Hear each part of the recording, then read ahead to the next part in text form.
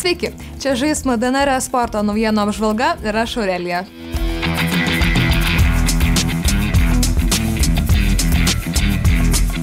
Šiandien laidoje papasakosiu, kur šį savaitgalį turėtų nueiti CSGO fanai, kas gavo banus dėl ESL One Genting ir kaip legendoms sekasi kovoti lygoje. Tačiau pradžioje apie tai, kas šį savaitgalį sudrebino sporto pasaulį. Pagaliau baigėsi vienas iš svarbiausių Counter-Strike Global Offensive renginių Elite Boston Major turnyras, kurį vainikavo neįtikėtinas Cloud9 ir Face Clan finalas. Paskutinė turnyro dvikova pareikalavo net dviejų pratesimų ir po rezultato 22-19 laimėjo Cloud9, kurie pirmą kartą Major turnyrų istorijoje pergalę atnešė būtent iš Šiaurės Amerikos regioną. Didžiajame finale netruko nei įtampas, nei profesionalių žaidėjų triukų, tad jei nematėte, būtinai rekomenduoju pasižiūrėti. Finalinės dvikovos žiūrimumas sumušė Twitch TV rekordą rekordą. Vienu metu tą patį kanalą žiūrėjo net 1,1 milijono žiūrovų iš viso pasaulio. Face Clan pusfinalėje keliaudami į didįjį finalą nugalėjo Nave ekipą, o Cloud9 brazilus SK Gaming. Amerikiečiai Cloud9 atsireikė pusę milijono JAV dolerių siekusią liūto dalį iš 1 milijono prizinio fondo. Cubify kartu su Aurimiu Kvakšiukvik iš turnyro pasitraukė pirmoje ketvirtfinalio dvikovoje, smarkiai pralaimėję prieš Navi. Tačiau dėl įspūdingos kelionės atrankinių varžybų link tiek fanų, tiek žiniasklaidos dėmesio underdogams tikrai netrūko. Cubify buvo vienintelė komanda Majorų istorijoje, kuri iki atrankinių varžybų užkopė nuo pat kvalifikacijų pradžios.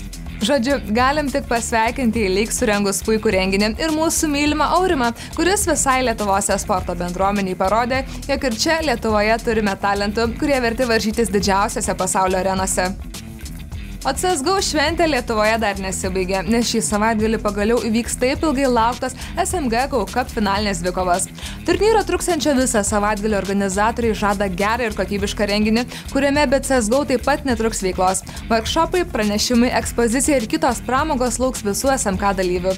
Nuorodą į SMK Go Cup paliksiu video prašymę. Kiek girdėjau, bilietus galima įsigyti renginio dieną, bet internetu pigiau. Na ir dar šiek tiek apie CS. Praėjusią savaitę buvo paskelbta, kad Star Series Eilė ketvirtasis sezonas bus žaidžiamas Kieve vasario 17-25 dienomis. Komandos išsidalins 300 tūkstančių JAV dolerių siekinti piniginį prizą. Jau yra pakviesta 10 komandų - tai Virtus Pro, SK Gaming, G2, Face Clan, Gambit, Cloud9, Astralis, Mouse Sports, Fnatic ir Navi. Kitos šešios bus išrinktos uždarų kvalifikacinių varžybų metu. Jau aiškios dvi Azijos komandos - tai Tailų ir MVP PK. Kitos keturios komandos paaiškės po Šiaurės Amerikos ir Europos regionų kvalifikacijų. Pamačius pirmasis kviestinės komandas, kyla klausimas, ar galėtų Face Clan Kievė atsirevanšuoti Cloud9ams. Po inirtingo ESL Langentik didžiojo finalo nugalėjo Team Liquid čempionais tapo NIFB ekipa. Prireikė visų penkių mečių, kad būtų išaiškintas nugalėtojas, o finalas vietas visų ovacijų ir liaupsių. NIFB į finalą užkopė pusfinalyje nugalėjo Team Secret, o Liquid nugalėjo Evil Geniuses komandą. Tiesa, Gentingas nepraėjo ir be žetažo. Taip jau įprasta sportai ir esporte, kad geras komentatorius be patirties nebūsi. Todėl busimiesiems profesionalams labai praverčia komentuoti tiesiogiai vykstantį žaidimą ir transliuoti savo kanalo žiūrovams. Tačiau Jesel užsimojo prašyti Twitch'o baninti visus tokius būsimus komentatorius, motivuojant tuo, jog tokie streamai yra nelegalus ir taip pravagiamas Jeselo turnys.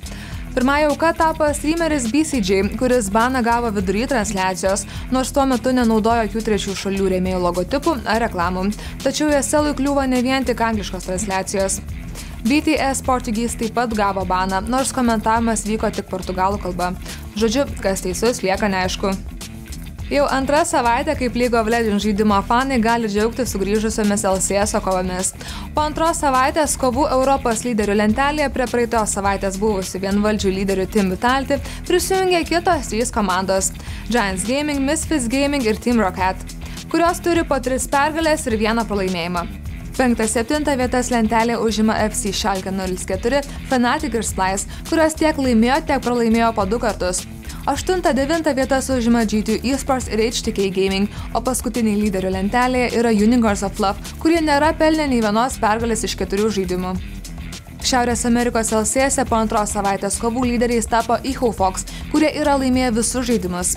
Antrą ketvirtą vietas užima 100 Thieves, Cloud9 ir Team Liquid. Penktąją ir šeštąją vietomis dalinasi Clutch Gaming ir Flycast, kurios tiek laimėjo, tiek pralaimėjo po du kartus.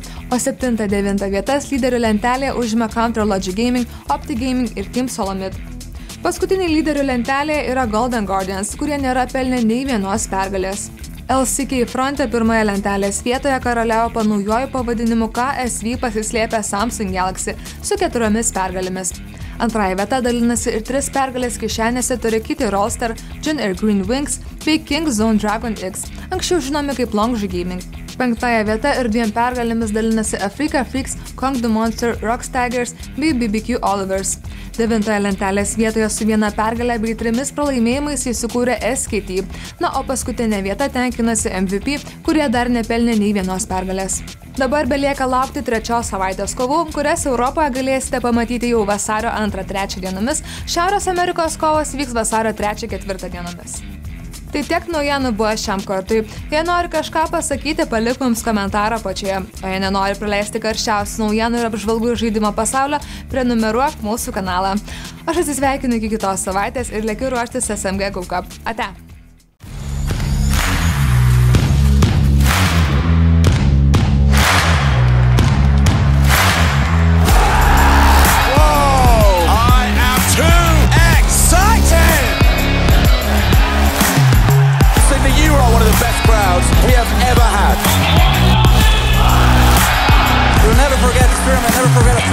Just beautiful.